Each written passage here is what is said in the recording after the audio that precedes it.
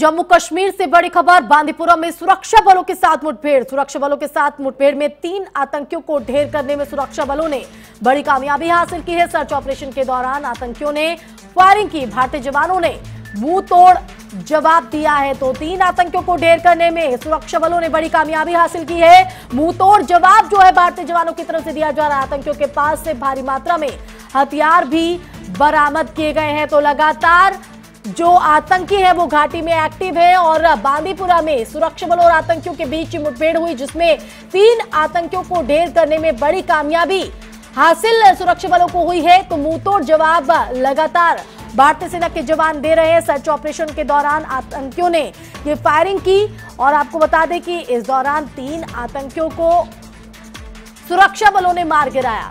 आतंकियों के पास से भारी मात्रा में हथियार बरामद हुआ है।